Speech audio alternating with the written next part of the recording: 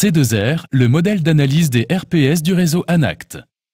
Les équipes du réseau ANACT ont développé un modèle d'analyse pratique des risques psychosociaux en entreprise.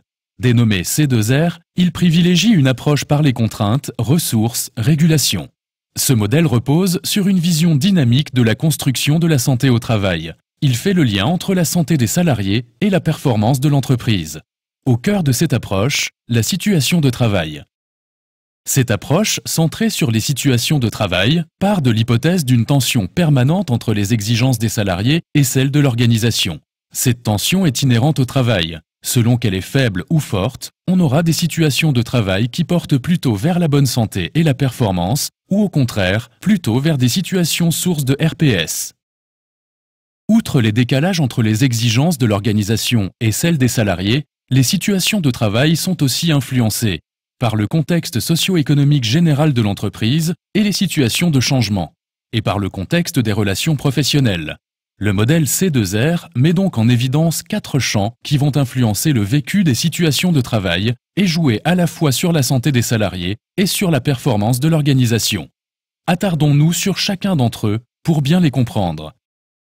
Les exigences de l'organisation sont celles nécessaires pour atteindre les objectifs en termes de production, elle concerne ce qui est prescrit comme activité, ce qui est donné réellement pour effectuer le travail, mais aussi ce qui est perçu par les salariés comme moyen donné pour effectuer son travail. Quatre dimensions peuvent être observées.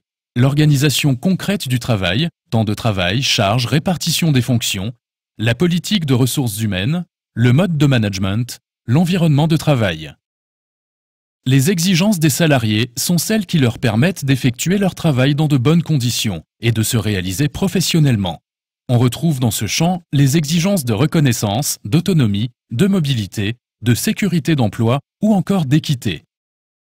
Le champ du contexte socio-économique analyse l'environnement de l'entreprise ainsi que ceux qui influencent le rapport au travail et à l'entreprise, stratégie, gouvernance, histoire, culture. Il permet également de traiter de la question des changements dans l'entreprise et de leurs appréhensions. Influençant fortement le rapport au travail, le champ du contexte des relations de travail intègre, lui, les notions habituelles de soutien social. Il concerne les relations aux collègues et à l'encadrement. Il prend aussi en compte les relations nouées à l'occasion du travail avec des personnes extérieures, en particulier au public, aux clients. Dans chacun de ces quatre champs, on va retrouver à l'œuvre des facteurs de contrainte et des facteurs de ressources. Voyons d'abord les facteurs de contrainte. Ce sont des éléments qui contribuent à augmenter les tensions entre les exigences de l'organisation et celles des salariés, qui rendent le travail plus difficile et empêchent un travail de qualité. Ils constituent des freins à l'implication des salariés et à l'efficacité de l'organisation. Ils sont perçus en lien avec des effets négatifs sur la santé. Du côté des exigences de l'organisation, on retrouvera par exemple le vécu d'inadéquation entre la charge et les moyens disponibles, des difficultés techniques qui perturbent le travail ou encore le manque de formation. Du côté des salariés, ce pourrait être un faible niveau de formation, de reconnaissance, une mobilité réduite ou une image du métier dévalorisée. Les facteurs de contrainte liés au contexte de l'entreprise peuvent être la fragilité de la structure, des mutations technologiques mal préparées ou encore des plans sociaux. Du côté du contexte des relations professionnelles, on pourra constater le manque de soutien de l'encadrement, la montée des rapports conflictuels entre collègues ou avec les clients. À côté des facteurs de contrainte, il existe pour chacun des quatre champs du modèle C2R des facteurs de ressources. Ces ressources sont essentielles pour la compréhension globale de la santé au travail.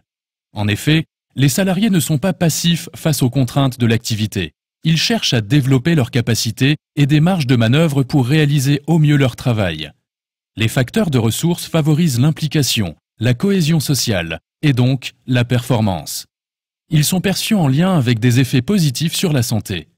Du côté de l'organisation, on pourra retrouver des éléments tels qu'une bonne répartition des tâches, une formation adéquate du personnel ou encore l'autonomie dans le travail. Du côté des salariés, on retrouvera par exemple des valeurs professionnelles fortes, un sentiment d'expertise ou des capacités d'adaptation. Les facteurs de ressources liés au contexte de l'entreprise peuvent être des perspectives économiques favorables, un produit noble dans lequel les salariés se reconnaissent, ou encore la stabilité de l'emploi. Du côté du contexte des relations professionnelles, on pourra observer par exemple un soutien effectif de l'encadrement, des collectifs soudés ou un dialogue social apaisé. Une fois en place, le modèle permet de comprendre ce qui se joue dans les situations de travail. Ainsi, quelle que soit la situation, on retrouve toujours des facteurs de contrainte et de ressources à l'œuvre. Et quelle que soit la situation, l'équilibre n'est pas la norme, les tensions sont inhérentes à l'activité.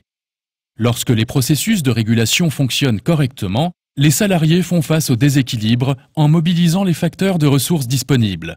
Par exemple, une charge importante de travail n'est pas en soi un facteur automatique de stress. Tout dépendra d'autres éléments. L'appui possible des collègues par exemple, les marges de manœuvre disponibles dans l'activité, ou encore l'existence d'une identité professionnelle forte. Lorsque la régulation ne peut s'opérer, les situations de travail se dégradent, situations de stress, de débordement, d'impasse, avec des effets négatifs sur la santé et la performance. Dans les cas extrêmes, ces situations de travail basculent en situation problème, c'est-à-dire en situation où les facteurs de contrainte sont importants et dépassent largement les ressources disponibles. Par exemple, lors de l'introduction d'un nouvel outil informatique, même si les salariés sont particulièrement motivés, ils peuvent se trouver en difficulté si le changement n'a pas été anticipé, si la formation est déficiente ou si l'appui de l'encadrement est insuffisant. C2R est donc un modèle d'analyse des risques psychosociaux centré sur le travail. Un modèle mobilisable au sein d'une démarche de prévention structurée en cinq grandes étapes et menée en concertation avec les partenaires sociaux. La première de ces étapes consiste à se mettre d'accord pour engager la démarche et à définir précisément la façon dont on va travailler sur le sujet RPS. La seconde vise à parvenir par la concertation à un diagnostic de la situation. Une fois le diagnostic posé, à la fois au niveau de l'entreprise et de situations de travail particulières, on pourra passer aux étapes suivantes avec l'élaboration du plan d'action, sa mise en œuvre et enfin l'évaluation du dispositif. Cette démarche est itérative. Au cours de la seconde étape, lors de la phase de diagnostic, le modèle C2R est utilisé pour identifier les facteurs de contrainte et ressources à l'œuvre au travers d'entretiens avec des salariés ou des groupes de salariés, puis avec l'employeur, on va s'appuyer sur le modèle pour qu'il s'exprime sur ce qui rend le travail difficile et ce qui est aidant. Ce travail d'investigation est en général réalisé au niveau de l'entreprise, puis ensuite au niveau des services ou des métiers les plus concernés. Le modèle C2R peut également être mobilisé pour analyser finement des situations de travail précises, notamment les situations problèmes dans lesquelles les processus de régulation en défaut sont observés à la loupe. Après le diagnostic, le modèle C2R peut à nouveau être convoqué lors de la phase de construction du plan d'action. En effet, au niveau de l'entreprise, d'un service ou d'une situation problème, trois grands leviers peuvent être activés pour prévenir les RPS. Le premier levier consiste à réduire les facteurs de contrainte, par exemple par une meilleure répartition du travail, en corrigeant des défauts dans les outils informatiques, avec des procédures et normes de travail facilitant l'exécution des tâches, ou en réaménageant des espaces de travail afin de réduire les nuisances.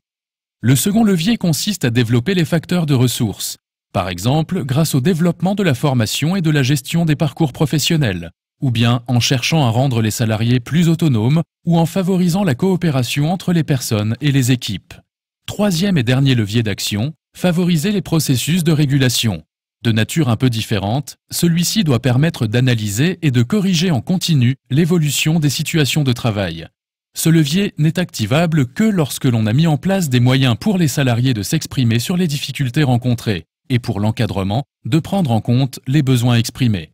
Attention, quels que soient les leviers activés, ces actions ne concernent pas uniquement les individus, mais également les collectifs de travail, l'organisation et la stratégie de l'entreprise. Pour aller plus loin, vous pouvez commander le guide sur la prévention des RPS de la collection Agir sûr. Consultez sur notre site internet anact.fr le dossier complet sur les RPS. Téléchargez sur anact.fr le kit Prendre en compte les RPS dans le document unique.